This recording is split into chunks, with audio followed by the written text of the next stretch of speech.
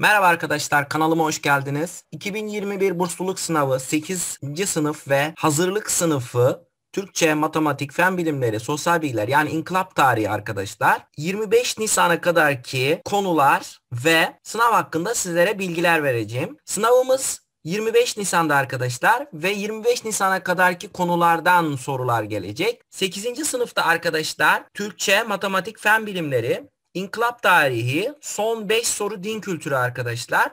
Toplam 25'er sorudan 100 soru. Yine arkadaşlar hazırlık sınıfı öğrencilerine de 8. sınıf müfredatından sorular hazırlanacak ve hazırlık sınıfı öğrencilere de 8. sınıf müfredatından bursluluk sınavına girecekler arkadaşlar. Sizlere önerim son 5 yılın çıkmış sorularını çözmeniz. Son 2 hafta her gün çıkmış sorular çözmelisiniz arkadaşlar.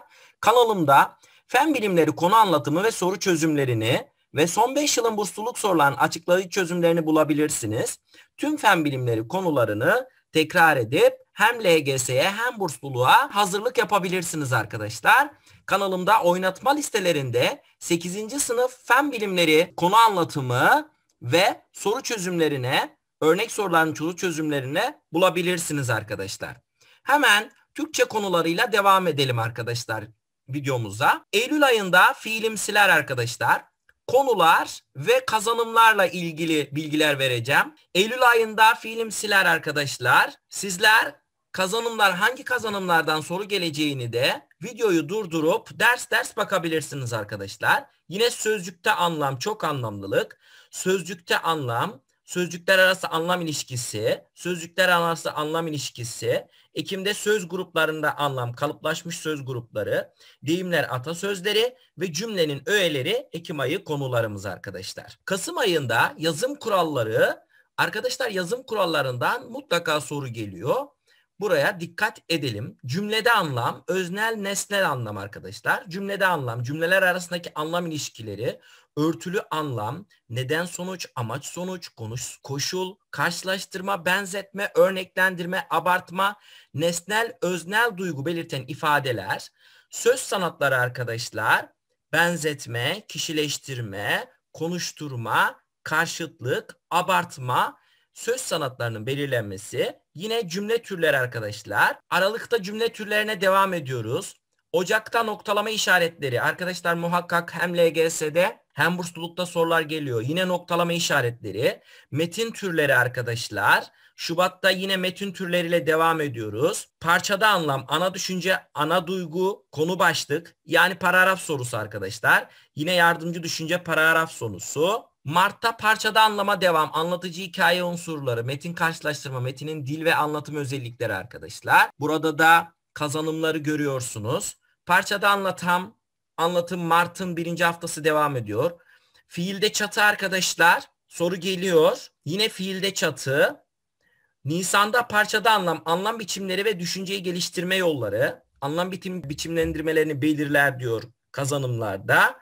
Yine parçada anlam, yardımcı düşünce Nisan ayının 3. haftasında cümlede anlam ile arkadaşlar 25 Nisan'daki kadar ki Türkçe konuları bu kadar. Arkadaşlar matematik konuları aylar, üniteler ve kazanımlar, konular ve kazanımlar görüyorsunuz arkadaşlar. Öncelikle çarpanlar ve katlar, üslü ifadeler, Ekim ayın sonuna kadar kareköklü ifadeler, yine Ekim sonu Kasım başı kareköklü ifadeler, kareköklü ifadeler, kareköklü ifadeler ve kareköklü ifadelerle Kasım ayı bitiyor. Arkadaşlar Kasım ayının sonu ve Aralık ayının birinci haftasında veri analizi Aralık'tan sonra arkadaşlar Aralık'ın ikinci haftasından sonra olasılık arkadaşlar yine olasılıkla devam ediyor. Aralığın sonunda cebirsel ifadeler ve özdeşlikler, cebirsel ifadeler ve özdeşlikler, özdeşliklere de devam ediyor arkadaşlar. Özdeşlikleri modellerle açıklama, cebirsel ifadeleri çarpanlarına ayırır. Şubat'ta arkadaşlar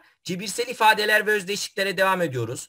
Yine Şubat'ın sonunda doğrusal, doğrusal denklemler, doğrusal denklemler, Mart'ta doğrusal denklemlere devam ediyor. Yine Mart birinci, ikinci, üçüncü hafta yine doğrusal denklemlerle devam ediyor. Mart'ın sonuna kadar arkadaşlar doğrusal denklemler ve Mart'ın sonunda eşitsizliklere geçiyoruz. Yine arkadaşlar Nisan'ın birinci haftası eşitsizlikler, ikinci haftası eşitsizlikler, üçüncü haftası üçgenler, kenar ortay, açı ortay, yükseklik arkadaşlar üçgenin iki kenar uzunluğunun toplamı ve farkı üçüncü kenarının uzunluğunu ilişkilendirme konularıyla 25 Nisan'a kadar ki matematik konularımız da bunlar arkadaşlar.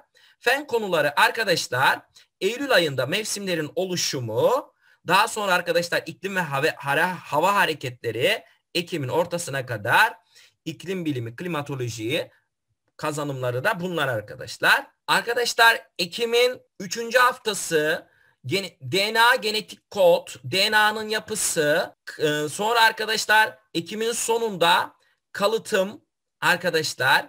Kalıtımda tek tek karakter çaprazlamaları, akraba evliliklerinin genetik sonuçları bunlardan sorularımız oluyor arkadaşlar muhakkak. Mutasyon, modifikasyon, daha sonra adaptasyon, en son konumuzda ikinci ünite ile ilgili biyoteknoloji arkadaşlar. Biyoteknolojiden sonra arkadaşlar üçüncü ünitemiz basınç ünitesi. Katılarda basınç, sıvılarda basınç, gazlarda basınç, açık hava basıncı ve katı sıvı gazların günlük yaşamdaki örnekleri. Daha sonra arkadaşlar periyodik sistem, periyodik sistemle ilgili grup, periyot, periyodik sistemin sınıflandırılması arkadaşlar. Metal, ametal, yarı metal. Daha sonra arkadaşlar fiziksel ve kimyasal değişimler, kimyasal tepkimeler, asitler, bazlar. Arkadaşlar asitler, bazların sonuna kadar birinci dönem konularımız bu kadar. İkinci dönemin başında arkadaşlar maddenin ısı ile etkileşimi, öz ısı, öz ısının bağlı olduğu faktörler yani kütle öz ısı arasındaki ilişki, hal değişimleri arkadaşlar, maddenin hal değişimi ve ısınma grafiklerini çizerek yorumlaması arkadaşlar. Günlük yaşamda meydana gelen hal değişimleri ve ısı alışverişlerine yine göreceksiniz. Yine arkadaşlar kimya endüstrisi, kimya endüstrisinden sonra arkadaşlar basit makinalar, basit makinalarda arkadaşlar öncelikle makaralar, makaralardan sonra kaldıraçlar, kaldıraçlardan sonra eğik düzlem, eğik düzlemden sonra arkadaşlar çıkrık, kasnaklar, vidalar göreceksiniz. Arkadaşlar besin zinciri daha sonraki ünitemiz 6. ünitemiz arkadaşlar Mart'ın sonunda Nisan'ın başında besin zinciri arkadaşlar besin zinciri besin ağı üretici tüketici ayrıştırıcı ekoloji piramidi bi, e, biyolojik birikim arkadaşlar bunlarla ilgili yine enerji dönüşümleri arkadaşlar enerji dönüşümlerinden fotosentez fotosentezi etkileyen faktörler solunum, oksijensiz solunum, oksijenli solunum. Bitkilerde fotosentez hızını etkileyen açık faktörler çok önemli arkadaşlar. Bunlardan soru geliyor. Daha sonra da arkadaşlar canlılarda solunumun önemi yani oksijenli ve oksijensiz solunumla 25 Nisan'a kadar ki konularımız sona eriyor arkadaşlar. İnkılap tarihi konularında arkadaşlar ay, ünite ve kazanımlar bunlar. Eylül ayında arkadaşlar bir kahraman doğuyor, bir kahraman doğuyor. Ekim'in ortasına kadar bir kahraman doğuyor. Birinci ünite konularımız. Sonra arkadaşlar ikinci üniteye bağımsızlık yolunda atılan adımlar, Birinci Dünya Savaşı'nın sebepleri, savaşın başlamasına yol açan gelişmelerden soru geliyor. Daha sonra arkadaşlar yine ikinci kazanım, Birinci Dünya Savaşı'nda Osmanlı Devleti'nin durumu, üçüncü kazanım Mondros Ateşkes Antlaşması Kasım'ın birinci haftası devam ediyor. Sonra Kasım'da arkadaşlar ikinci haftasında Kuvayi Milliye, üçüncü haftasında arkadaşlar milli mücadelenin hazırlık döneminde Mustafa Kemal'in yaptığı çalışmaları analiz eder. Yine Kasım'ın sonunda arkadaşlar milli mücadelenin hazırlık döneminde Mustafa Kemal'in yaptığı çalışmalar devam ediyor. Aralıkta arkadaşlar Misak-ı Milliye daha sonra Büyük Türk Büyük Millet Meclisi'ne karşı ayaklanmalar, Kasım'ın ikinci haftası, Mustafa Kemal'in Türk milletinin Sevr Antlaşması'na karşı tepkilerini değerlendirir. Yine arkadaşlar ya istiklal ya ölüm ünitesinden milli mücadele döneminde Doğu cephesi, Güney cephesi meydana gelen gelişmeler. Yine Ocak'ta arkadaşlar milli mücadelenin milli mücadele döneminde Batı cephesinde meydana gelen gelişmeler Ocak'ta devam ediyor. Ocağın 3. haftasında milli mücadele döneminde Batı cephesinde meydana gelen değişmeler.